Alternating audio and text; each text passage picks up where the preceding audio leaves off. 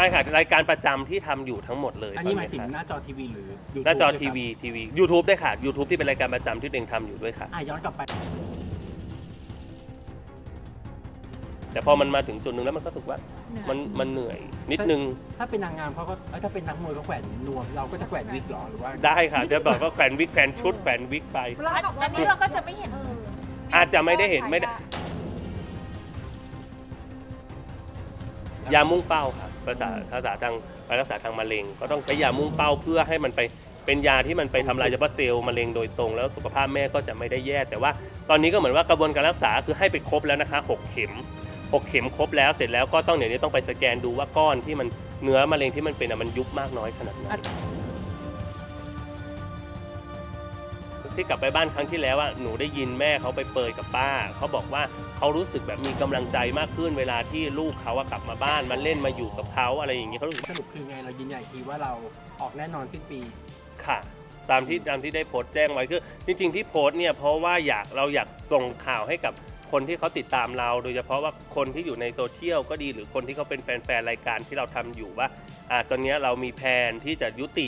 อ่าบทบาท การทำหน้าที่ความเป็นพิธีกรแล้วนะ แล้วก็ถ้าไม่ได้เห็นหรือว่าอะไรก็ไม่ต้องแปลกใจอะไรอย่างเงี้ยค่ะหน้าจอทั้งหมดเลยใช่ไหมคะใช่ค่ะรายการประจำที่ทำอยู่ทั้งหมดเลยอันนี้หมายถึงค่ะหน้าจอทีวีหรือ YouTube หน้าจอด้วยครับทีวีทีวียูทูบด้วยค่ะ YouTube ที่เป็นรายการประจำที่ตัวเองทำอยู่ด้วยค่ะอะย้อนกลับไปเราใช้เวลาในการตัดสินใจนานไหมครับกับการที่จะโพสต์เอ่อไม่นานค่ะ เพราะว่าแค่รอช่วงจังหวะที่มันมีบางรายการที่มันครบ season แล้วก็เอ่อจะขอยุติแล้วก็ไม่ทำต่ออย่างเงี้ยค่ะพอดีมันครบเอ่อ มี 2 รายการที่มันครบ season พอดีแล้วหนูตัดสินใจว่าหนูจะไม่ไม่จะไม่ต่อสัญญาอะไรอย่างเงี้ยค่ะจะไม่ได้ได้ทำต่อ ก็เลยเป็นจังหวะพอดีที่อะคิดว่าควรจะแบบส่งข่าวให้กับแฟนๆได้ได้ได้รู้ได้แล้วอย่างเงี้ยสาค่ะเหตุจริง ๆ ที่เรารู้สึกว่าพอแค่นี้ดีกว่าคือมันก็ตกลงกับตัวเองมาตั้งแต่ต้นแล้วด้วยค่ะ ตอนที่ตัดสินใจมาทำงานตอน ตอนแรกไม่คิดว่าจะอยู่ยาวขนาดนี้ด้วยซ้ำนะคะ ตอนที่ได้เข้ามาก็คิดว่าได้อยู่สักแบบครึ่งปีอะไรอย่างเงี้ยก็นะถ้าหมดกระแสแล้วอะไรแล้วก็คงจะได้จะได้ไป แต่ปรากฏว่ามันลากยาวมา อย่างเงี้ยค่ะ แล้วก็มันมีหลายเรื่องที่มันเหมือนว่าสัญญากับตัวเอง หรือมันเป็นหน้าที่ที่ต้องทำแล้วมันไม่ได้ทำและถ้ายังอยู่อย่างเงี้ยมันจะไม่ได้ทำอย่างเงี้ยค่ะ มันก็เลยต้องรีบตัดสินใจเลยว่าอะยุติดีกว่า แต่การออกจากวงการในที่นี้นี่คือถาวรไหมน่าจะถาวรนะคะหมายถึงว่าถ้าเป็นงานประจำอะคงจะไม่ได้เห็นหนูในบทบาทที่หนูรับงานช่องประจำแล้ว แต่ถามว่าจะไม่เห็นเลยอะก็คงคงไม่ใช่อะถ้าอย่างที่หนูพูดในรายการทัวร์มาลงก็คือ ถ้ามันมีแบบ เอ่อเรียกว่าอะไรอะถ้ามันมีประเด็นน่าสนใจอะถ้ามันมีประเด็นอะไรเกี่ยวกับเรื่องทางศาสนา หรือเรื่องอะไรที่รายการแบบเอ่อโทรมาหาหนูอย่างเงี้ยแพรรี่ช่วยมาพูดเรื่องนี้ให้หน่อยเป็นประโยชน์กับสังคมเป็นประเด็นอะไรอย่างเงี้ยหนูอาจจะรับเชิญในฐานะที่เป็นที่เป็นคนออกมาให้ความคิดเห็นอะไรอย่างในเงี้ยเวอค่ะร์ชันรายการแขกรับเชิญอย่างเงี้ยแต่ค่ะว่าทำไมเรายอมทิ้งรายได้มหาศาลออกไป เพื่อที่จะกลับไปบ้านเกิด อะด้วยตัวหนูอะตอนที่หนูหนูกลับไปบ้านครั้งหนึ่งแล้ว ช่วงนั้นหนูก็หนูก็ ไปอยู่ที่บ้านแล้วหนูก็คิดเหมือนกันว่าเออตอนไปอยู่บ้านคงไม่สามารถทำรายได้ได้หรืออะไร แต่ในความเป็นจริงคือ ตอนนั้นต่อให้หนูกลับไปบ้านหนูก็มีช่องทางที่หนูจะทำมาหากินได้ หนูรู้สึกว่าอย่างนั้นไม่ได้หมายความว่าหนูออกจากวงการแล้วหนูเสียรายได้ไปเลย แน่นอนมันอาจจะข้างนอกอะทำงานนอกมันไม่มันไม่ถ้ามองแบบคนข้างนอกเนาะเขาก็จะมองว่ามันไม่ได้สบายเหมือนในวงการแหละวงการอะสบายเป็นงานสบายอยู่หน้ากล้องทำไมไม่ทำแต่จริงหนูคิดว่าหนูทำหนูทำได้หมายถึงว่าถ้าออกไปข้างนอกแล้วมันอาจจะ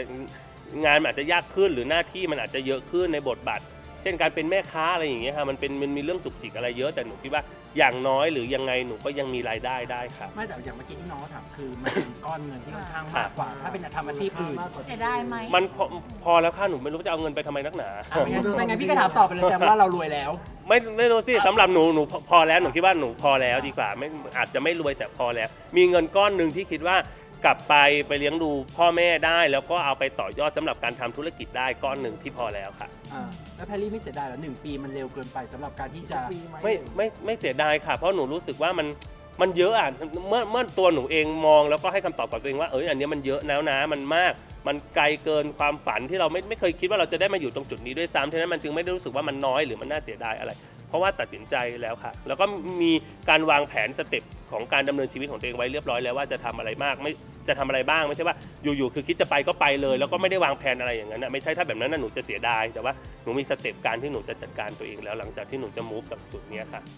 แพรรี่ณวันนี้เราตัดสินใจแล้วครับแล้วถ้าสมมติว่าครึ่งปีหลังจากเนี้ยเราอยากจะกลับครับเข้ามา มันจะต้องมีกระแสหนูตีกลับนะเรหนูว่าชีวิตมันไม่ใช่เรื่องล้อเล่นอย่างนั้นนะถ้าหนูตัดสินใจโพสต์แล้วอะไรแล้วนั่นคือหนูต้องมั่นใจแล้ว แล้วอย่างเพจหนูคนตามตั้ง3ล้าน อยู่ดีๆหนูจะมาแบบแบบเหมือนพูดแบบเหมือนคนแบบพูดอะไรแล้วสับปรับไปเรื่อยมันหนูคงไม่ทำแบบนั้นน่ะก็เหมือนตอนหนูศึกมานั่นแหละคนก็คิดว่าศึกมาเดี๋ยวก็กลับไปบวชอะไรอย่างเงี้ยหนูคงไม่ไม่ได้ไม่เอาชีวิตเป็นเรื่องล้อเล่นแบบนั้นนะคะอืม ไม่งั้นพี่ถามชาวบ้านเลยก็คือเราไม่ได้ครับคืนน้ำลายตัวเองแน่นอนค่ะค่ะใช่ค่ะอืมไม่หนูไม่มีเหตุผลอะไรที่ต้องแต่ทำแบบคนั้น นคือจับตามองแล้วเหมือนคอยจับผิดเราทีค่ะนี้เราอยากจะบอกเขายังไงว่า สบายใจได้ไม่ต้องจับผิดฉันไปแน่ ก็ปล่อยให้เขาจับไม่ไม่ไม่ก็ต้องปล่อยเขาจับผิดแหละหนูว่าคงไม่บอกเขาแต่เหมือนอย่างมีก็มีบางคนหนูว่าหนูอะไรอย่างนี้เนาะไม่เชื่อหนูแหละพูดง่ายๆคือเขาไม่เชื่อเขาแบบการที่ออกมาพูดอย่างนี้เป็นคอนทงคอนเทนต์ก็แล้วแต่เขาแต่หนูหนูเชื่อมั่นว่า ถ้าหนูพูดอะไรแล้วทำอย่างนั้นนะสิ่งที่คนอื่นพูดมันก็ไม่เข้าหนูมันก็เข้าคนที่เขาพูดเอง เพราะหนูไม่ได้เป็นแบบที่เขาพูดอืมหรือมองหรือถ้ามองอย่างนี้คือเราลงตอนที่เรายังเป็นแพรรี่ไพวันดีกว่าไหมหรือว่ายังไง มันจริง ๆ สาเหตุสำคัญมันไม่ได้มาจากตรงวิธีคิดแบบนี้ แต่มันมาตรงชื่อเสียงมันมาตรงจุดว่ามันมันถึงจุดนี้มันพอกับหนูแล้วก็มันเป็นสัญญาที่หนูเคยพูดกับตัวเองไว้ว่าหนึ่งปีแล้วหนูจะไปทำอะไรต่ออย่างนี้แล้วหนูก็มีเรื่องแม่เรื่องครอบครัวหนูที่หนูต้องไปจัดการ อย่างเงี้ยฮะเรื่องแม่ก็เป็นเหตุผลหลักหนึ่งเหมือนกันเพราะว่าตอนที่หนูศึกมาหนูก็พูดว่าหนูศึกมาเพื่อหนูจะมาดูแลแม่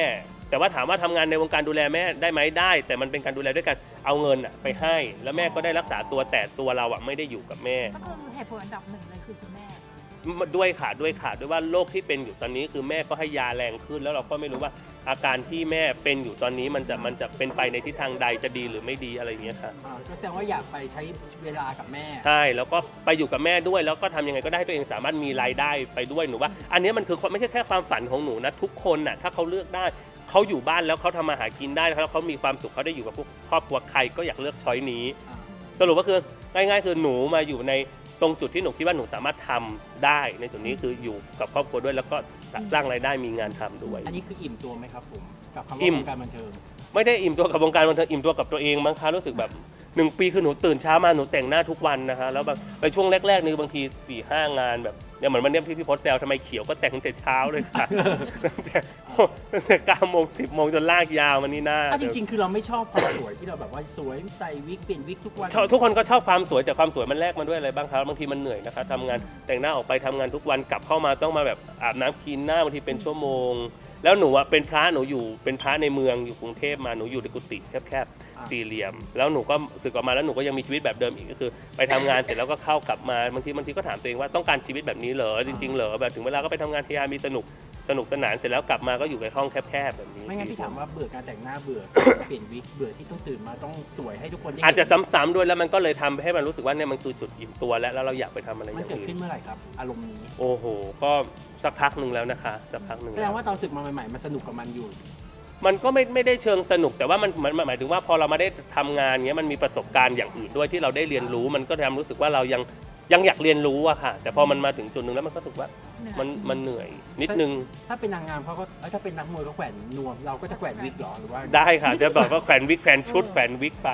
อันนี้เราก็จะไม่เห็นเอออาจจะไม่ได้เห็นไม่ได้มันก็ยังเห็นถ้ามันแบบคือ หนูหนูคิดว่าต่อให้หนูแบบไม่ได้ทำงานประจำในวงการแล้วหนูออกไปกลับบ้าน ถ้ามันยังมีงานลูกค้า คือหนูก็ยังอยู่ในบทบาทฐานะของความเป็นอินฟูใช่ไหมคะ ถ้ามันมีแบบมาเอ่อลูกค้าเขาอยากให้หนูทำงานให้เขาอะไรเขาอย่างเงี้ยหนูก็ยังต้องแต่งตัวอย่างนี้อยู่ค่ะ แสดงว่าเพราะว่า ถ้าเราไปคาเฟ่เราก็จะไม่เห็นลุคนี้เลย ไม่เห็นแน่นอนค่ะถ้าไปที่บ้านหนูหนูก็จะอยู่แบบลุกแบบนี้ธรรมดาหลักหลักเพราะเราเคยไปเป็นพระแล้วเรากลับมาสู่ความเป็นคารวาสอะถ้าในมุมมองของคนอื่นเขาจะบอกว่าสูงสุดคือสุขสามัญแล้ว มันก็ไม่มีอะไรที่เรารู้สึกว่ามันจะต้องเสียต้องต้องทิ้งมากไปมากกว่านี้แล้วค่ะขออนุญาตถามเรื่องแม่ต่อไปนี้คือกระบวนการรักษาไงเพราะว่าเห็นว่าให้ยาแรงแล้วยามุ่งเป้าค่ะภาษาภาษาทางการรักษาทางมะเร็ง ก็ต้องใช้ยามุ่งเป้าเพื่อให้มันไป เป็นยาที่มันไปทำลายเฉพาะเซลล์มะเร็งโดยตรง แล้วสุขภาพแม่ก็จะไม่ได้แย่ แต่ว่าตอนนี้ก็เหมือนว่ากระบวนการรักษาคือให้ไปครบแล้วนะคะหกเข็มหกเข็มครบแล้วเสร็จแล้วก็ต้องเดี๋ยวนี้ต้องไปสแกนดูว่าก้อนที่มันเนื้อมะเร็งที่มันเป็นอะมันยุบมากน้อยขนาดไหนอะแต่ถ้ากระบวนการที่ต้องค่าใช้จ่าย ค่ะ มันค่อนข้างสูงตรงสูงนี้เรามาก มีความพร้อมเตรียมยังไงบ้างเอ่อหนูคิดว่าหนูสามารถรักษาแม่หนูได้อีกหลายปีอย่างดี อย่างดีอืมอย่างดีอืม พอแม่ได้ข่าวแล้วแม่รู้สึกยังไงบ้างกับการที่ลูกจะกลับไปหมายถึงกลับไปบ้านใช่ไหมใช่ครับ ใช่ยังไม่ได้คุยกันโดยตรง แต่ว่าสาเหตุหนึ่งที่หนูกลับไปด้วย เพราะว่าเมื่อที่กลับไปบ้านครั้งที่แล้วอะหนูได้ยินแม่เขาไปเปรยกับป้าเขาบอกว่าเขารู้สึกแบบมีกำลังใจมากขึ้น เวลาที่ลูกเขาอะกลับมาบ้านมาเล่นมาอยู่กับเขาอะไรอย่างนี้เขารู้สึกว่าเขามีกำลังใจ แต่เขาก็เข้าใจว่าเดี๋ยวเขาลูกเขาก็ต้องกลับไปทำงาน เพราะว่าเขาต้องหาเงิน ก็เลยอยากกลับไปอยู่ใกล้ๆชิดที่สุดเลยใช่ค่ะอืมมันเป็นเป็นเหตุผลหลัก ๆ ด้วยเพราะมันก็รู้เดี๋ยวมันก็จะรู้สึกติดค้างตัวเองอยู่อย่างเงี้ยค่ะว่าเออเพราะว่าเราเคยพูดไว้ชัดว่าตอนเราศึกมาเราต้องการทำอะไรเรื่องอะไร แล้วเราก็บอกแต่แรกว่าเราไม่ได้ศึกมาเพื่ออยากจะมาแบบ เพราะเพราะมันมีคนคารหาหนูตอนหนูศึกใหม่ๆว่าเออศึกมาก็ไม่อยากเข้าวงการบันเทิงอะไรอย่างนี้นั่น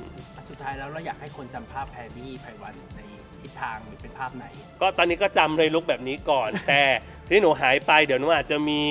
look ใหม่ๆ ที่แบบจะดูดีมากขึ้นก็ได้นะคะเออติดตามแต่ในโซเชียลไงแต่ติดตามแล้วเดี๋ยวเจอกันในโซเชียลในช่องทางของหนูเออค่ะฝากไว้ออนไลน์ แฟนๆไหมที่ใจหาย หนูขอบพระคุณทุกคนนะฮะขอบพระคุณที่ support แล้วก็เอ็นดูหนู งานที่หนูทำรายการที่มียอดวงยอดวิวคนดูเป็นแสนเป็นอะไรเนี่ยก็เพราะว่ามี FC นี่แหละเข้าไปติดตามแล้วก็ชื่นชมขอบคุณที่ทำให้หนูทำงานจนหนูรู้สึกว่าหนูอยู่ในขั้นที่พอใจแล้วประสบประสบความสำเร็จในมุมของหนูคนเดียวนะครับกับงานที่หนูทำแล้วขอบคุณทุกคนที่ support และทำให้หนูเป็นแพรรี่ที่ถูกพูดถึงจนถึงทุกวันนี้ขอบคุณแล้วก็จะดีมากๆนะคะถ้าจะ support หนูต่อไปในแพลตฟอร์มอื่นๆ ในบทบาทอื่นๆ หลังจากนี้ค่ะ ถ้าไม่อยากพลาดข่าวบันเทิงแซ่บๆ อย่าลืมกดไลค์ กดแชร์ กด Subscribe ทางช่อง YouTube Top ดาราด้วยนะคะ